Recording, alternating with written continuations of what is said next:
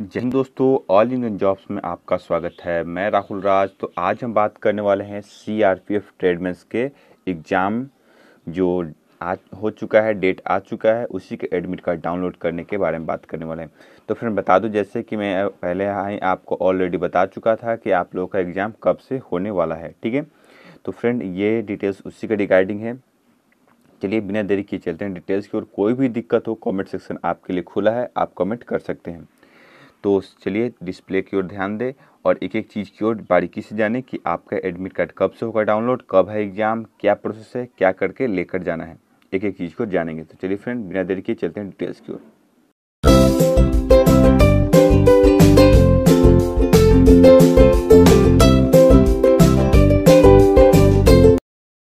क्या आपको नोटिस दिख रहा होगा? ठीक है? सीआरपीएफ के अंतर्गत से नोटिस जारी कर दिया है। वेबसाइट से ही इनको डाउनलोड हमने कर लिया है ऑलरेडी आपको अगर डाउनलोड करना है तो मैं साइट से भी जाकर डाउनलोड कर सकते या तो मैं टेलीग्राम ग्रुप में मैं ऑलरेडी पर डे आपको सेंड कर देता हूँ।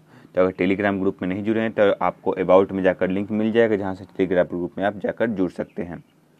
तो आपको मैं बता दूँ, आपको टेक्निकल और ट्रेडमेंस ठीक है? और मिनिस्ट्रियल ठीक है? जो एग्ज़ाम होगा, क्या होगा? सीबीटी एग्ज़ाम, यानी आपका ट्रेड टेस्ट एग्ज़ाम जो होने, सॉरी, ट्रेड का जो होगा, टेक्निकल का होगा और मिनिस्टर वाला। तो सारा एग्ज़ाम आपका ऑनलाइन एग्ज़ाम होने वाला है। पहले ही आपको नोटिस में भी बता दिया गया था, ठीक है? मैं पहले ही बता चुका था। अब देखिए, अब आपका एग्ज़ाम होगा तीन शिफ्टों में, ठीक है? आपका फ़र्स्ट शिफ्ट जो चलेगा एग्ज़ाम एक से तीन तारीख, एक, दो और तीन, ठीक चलेगा? सॉरी, एक और तीन को चलेगा, ठीक है? एक और तीन को।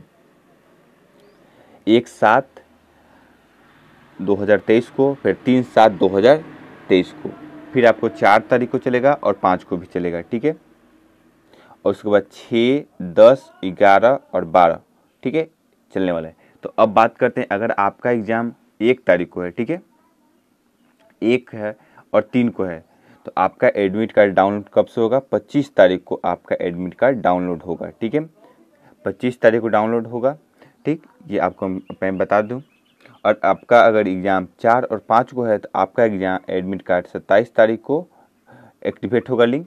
और आपका एग्ज़ाम छः, दस और ग्यारह और बारह को है तो उनतीस तारीख को आपका एग्ज़ाम का लिंक एक्टिवेट होगा। कब एक्टिवेट होगा? दिन के दस बजे, ठीक है?